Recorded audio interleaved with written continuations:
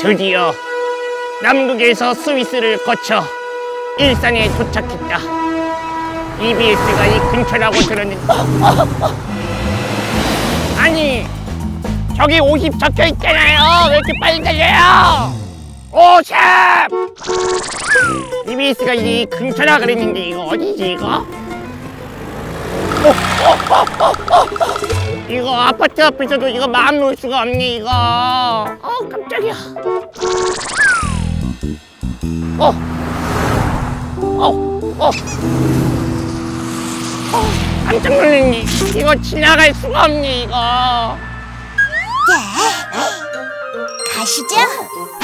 어머, 감사합니다. 멋있네. 하나, 보행자가 많은 도심 제한 속도는 50km. 둘, 아파트 단지 내에서도 조심 운전.